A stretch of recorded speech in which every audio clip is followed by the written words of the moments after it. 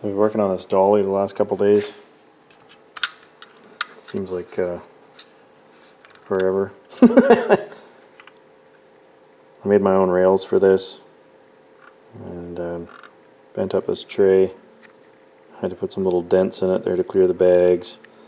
There's a little battery tray. I'm not sure if Chris is going to run a 7.2 battery on this or if he's got lipos or what the deal is, but it will fit one in there. It's a snug fit. But it will fit in there, and even with this, there's a bit of space to um, hopefully mount some more goodies if need be.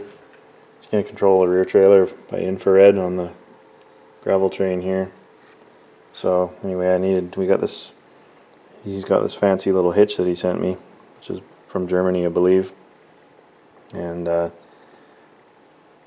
obviously it's going to be on the front trailer, and then the uh, rear trailer needs to keep the drawbar up in the air at a sort of a neutral position. So I had to machine all these goodies and make some torsion springs for in there so that it does go up and down. If you go over any amount of terrain or whatever and all that and then this clips on there. Actually works slick.